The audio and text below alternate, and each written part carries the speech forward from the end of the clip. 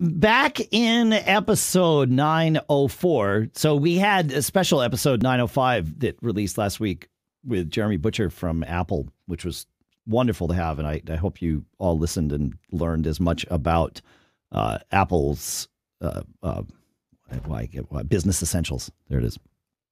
I think they're doing a great thing there where they merge support and all that.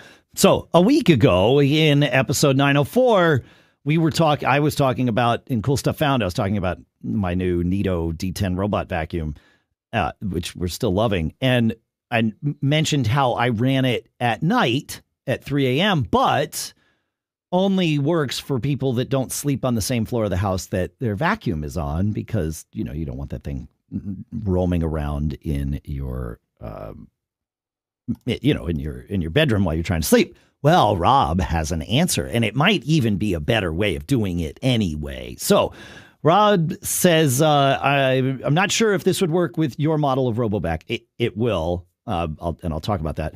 But uh, he says with uh, with my Roomba, he says I have it integrated with IFT, IFTTT, and have an automation set for when I leave my home geofence with my iPhone, the vacuum runs.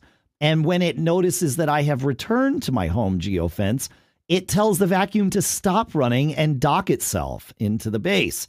Might want to consider doing that. He says our dogs go ballistic at night mm-hmm. when we are in the bedroom trying to sleep downstairs and the vacuum tries to run upstairs. Just a thought.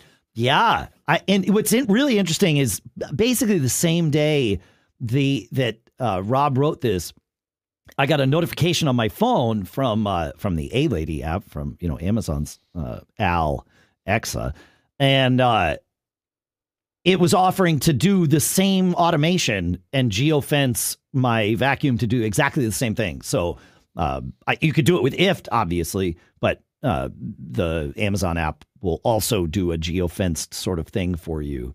Uh, so that's I like that idea. Run the vacuum when you're not home. Hmm. Interesting. Interesting. Interesting.